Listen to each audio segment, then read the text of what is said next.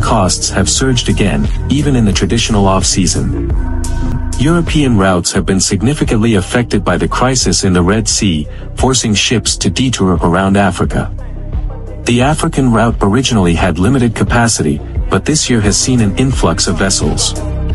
Longer voyages and increased transshipment ports have led to more vessels needing to operate. Extended journeys coupled with port congestion have resulted in many containers not returning. This is also the main reason for the recent container shortage.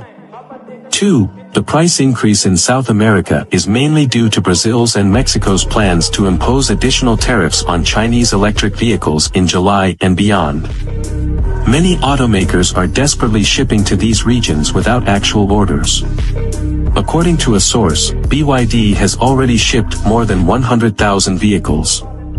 Electric vehicle companies have seized the majority of shipping resources.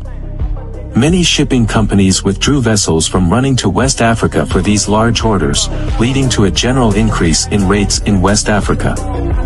These EV makers not only compete for shipping resources but also reportedly fill up destination ports yards quickly with automobiles.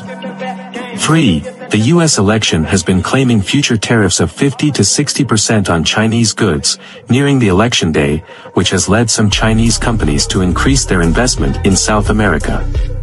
Additionally, many importers are stocking up in advance, causing the peak season to arrive early.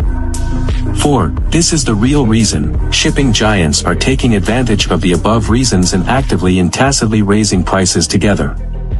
Exporting companies need to plan their shipping schedules in advance, as everyone is scrambling for containers. Estimated time of arrival, ETA, is also unstable.